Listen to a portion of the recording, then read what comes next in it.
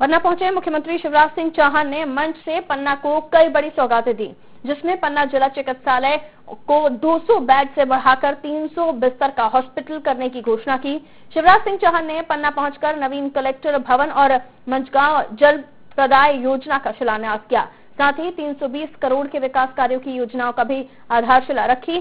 पूरे कार्यक्रम में प्रदेश में चल रही जन कल्याणकारी योजनाओं के बारे में गरीबों को और किसानों को भी बताया। पूरे कार्यक्रम में बड़ी संख्या में ग्रामीण और शहरी क्षेत्र के लोग पहुँचे। कार्यक्रम में प्रदेश की पीएचई मंत्री कुसुम महदेवे और प्रभारी मंत्री ललिता यादव मौजूद रही। वहीं पन्ना कलेक्टर ने बताया कि जिला चिकित्सालय के विस्तार को लेकर और पन्ना टाइम डायमंड पार्क को लेकर घोषणा की गई है, जिसको जल्द से जल्द पूरा किया जाएगा।